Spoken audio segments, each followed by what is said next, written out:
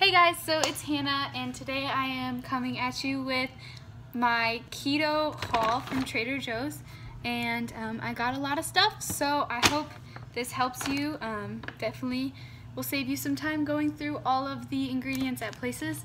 So I'm just going to start off with um, some things I got. First off, I got some romaine hearts. Um, let me see if I can get prices too because that'd be sweet.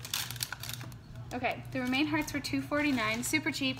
Um, six leaves, or like boats, I guess you could call them, are 15 calories. Um, carbs, net carbs is one. So, can't beat that. I'm gonna make some like BLT wraps with it. And then I have some kale, and at first I almost didn't get it. So I was like, oh my goodness, the carbs are high because it's six net carbs, but it's for five cups. And so five cups is like way more than I'll ever eat.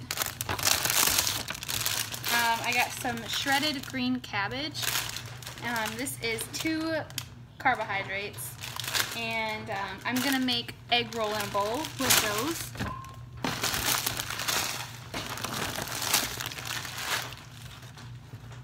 My dog's trying to eat my eucalyptus. Guys, stop. Then I got some frozen broccoli. I got two bags and two grams of net carbs for one cup and I just like making like scrambles with this. And then I got some edamame and it is three net carbs for a half a cup.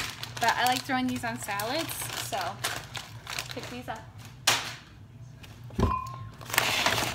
I got some roast beef, um, less than one grams of carbs, um, for two ounces and I'm gonna use these for like um, more wraps so kind of like Jimmy John's.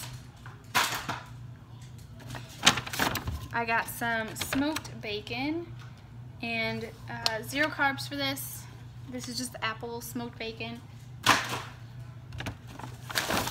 I got some rice cauliflower because this one was cheaper that's frozen. Um, little tip if you think buying like fresh is too much um, you can buy frozen and it's usually a lot cheaper. And then I got some chicken tenders because I make some really good pork rind chicken tenders. And then I just fry them in oil or in my air fryer. And then I got ground pork for my egg rolls in a bowl. And this just has one grams of carb. And then I got something little treatish. I got some steak um, for my husband and I to share. It's just a New York strip steak, so I'm gonna have some fun sampling that out.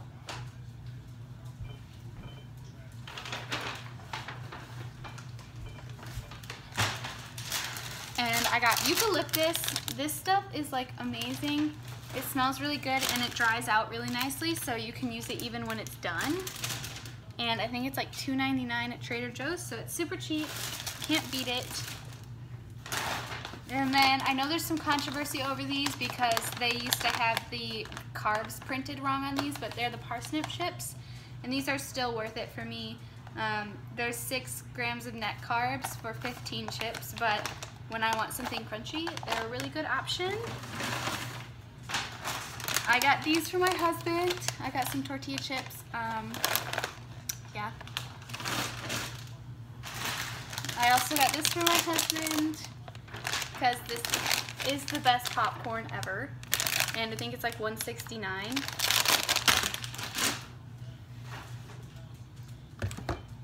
And then I got the artichoke and jalapeno um, chunky dip. And I think I'm to put this on chicken or um, pork rinds. But there's two carbs for um, 30 grams, which is like the same as like if you get sugar-free barbecue sauce. So I mean, it kind of just depends on what you're looking for. I got more eggs, because eggs I eat every day. And then I got the one birthday cake bar, and it is kind of, uh, I don't know, people are like iffy about these, but there's only one gram of actual sugar, and then there's 22 carbs, dietary fibers nine, so seven, Um, that means there's 13, and then there is five sugar alcohols. So that means there's eight grams of carbs in this, which like it's not great, but if it tastes like birthday cake, I am all for it. So I'm gonna try that. Um, and that was it. I ended up spending, well I work there so I got a discount so it's gonna be different, but I spent $50. So all that stuff was $50 and I think I have like some stuff at home. Obviously I'm gonna add to it, but I think I have like four meals that I can do from this stuff. So I definitely recommend checking it out. And if you have any questions about products or ingredients or anything, um, leave a message below or a comment. Um, yeah, so I hope y'all have a great day and I'll talk to you later.